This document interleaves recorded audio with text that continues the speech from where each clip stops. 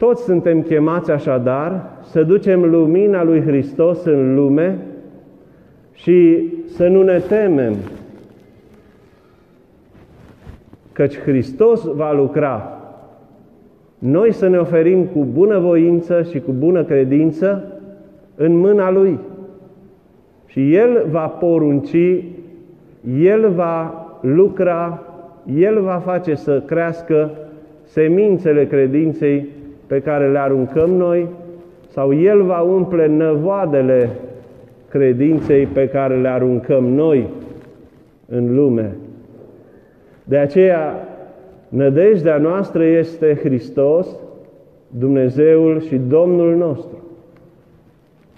Observăm că și Petru, dacă mai întâi îl numea pe Mântuitorul Hristos, Rabi sau Învățătorule,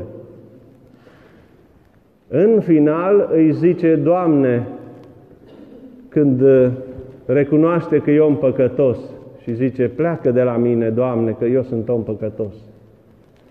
Recunoaște că e Domnul lui, așa cum a recunoscut și Toma după înviere, Domnul meu și Dumnezeul meu, stăpânul meu.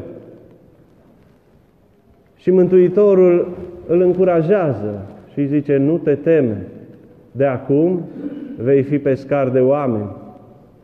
Așa ne zice Mântuitorul Hristos tuturor, să nu ne temem, ci să ducem lumina lui Hristos în lume.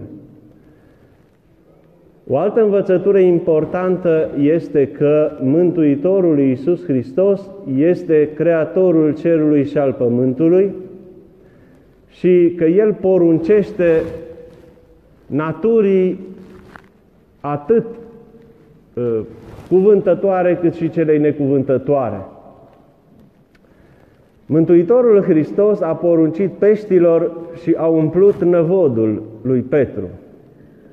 Și peștii au venit cu bucurie să împlinească porunca stăpânului. Sfinții părinți spun că prin aceasta vedem că natura ascultă de Dumnezeu, de Creatorul ei. Natura necuvântătoare, făpturile necuvântătoare, iată, îl respectă pe Dumnezeu Creatorul și împlinesc legea Lui, legea naturii, legea firii. Singurii care se răzvrătesc în această creație materială fiind oamenii.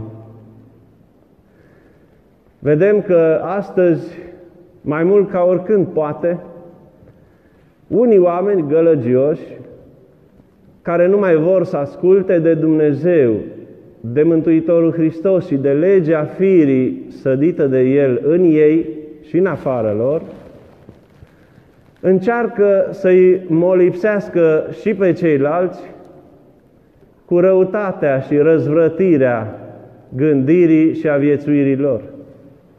Și observăm cu toții câtă ură manifestă la adresa credinței, la adresa bisericii, la adresa lui Hristos, căutând să-L alunge pe Hristos din lume, din societate, din instituții, din școală, să dispară pomenirea Lui, pomenirea și icoanele Lui sau simbolurile Lui, care aduc aminte copiilor, care aduc aminte oamenilor de El, de Hristos, ca Dumnezeu.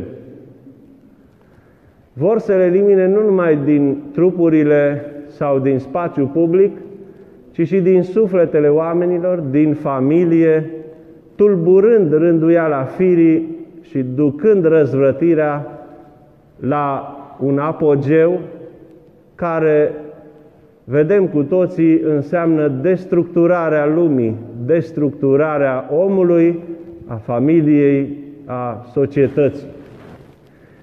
De aceea și noi trebuie să manifestăm demnitate și fermitate și să răspundem chemării bisericii de a lupta pentru această normalitate și normalizare pe care a lăsat-o Mântuitorul în legea firii, ca nu cumva să se întâmple profeția Sfântului Antonie cel Mare, Știți care este? El a zis că va veni o vreme când oamenii vor înnebuni și vor zice celor care nu sunt ca ei că ei sunt nebuni, pentru că nu sunt ca ei. Și observăm acest lucru în avalanșa propagandistică care nu e numai violentă, adică plină de agresivitate și ură, e plină de bășcălie și de calomnie, căutând să intimideze și să înmoaie conștiința creștinilor care ar trebui, după viclenia gândirilor, să accepte toate măsurile anticreștine și antifirești din spațiu politic și public. Noi trebuie să ne apărăm valorile creștine, să ne apărăm familia cu temeliile ei în Dumnezeu și să mergem să mărturisim acest lucru și peste două săptămâni, când avem șansa de a ne mărturisi și prin viu grai și prin faptă demnitatea de creștini și de români. Dumnezeu să ne lumineze pe toți, să ne întărească în uh, harul și puterea și bucuria Lui, ca să întindem mrejele cuvântului lui Dumnezeu și lumina credinței în El, în afara noastră, în societate, căci Hristos ne-a spus, nu vă temeți, eu sunt cu voi până la sfârșitul veacurilor. Amin.